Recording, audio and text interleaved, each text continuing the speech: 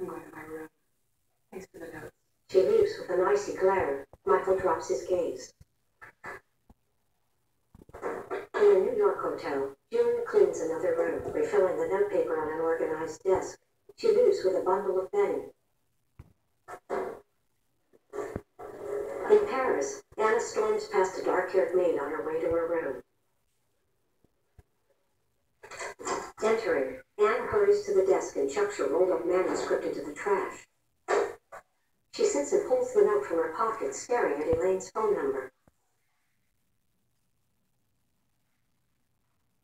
Anna grabs the desk phone and begins to dial. Tearing up, she slams the phone on the receiver. Anna stares at the wall and cracks her knuckles. She crumples the note and slams it in a desk drawer. Now Julie wheels her housekeeping car to a maintenance elevator as Jerry steps out. 303 just called for housekeeping? They had to turn the serve off. Welcome to show business. Julie steps onto the elevator with an irritated gaze.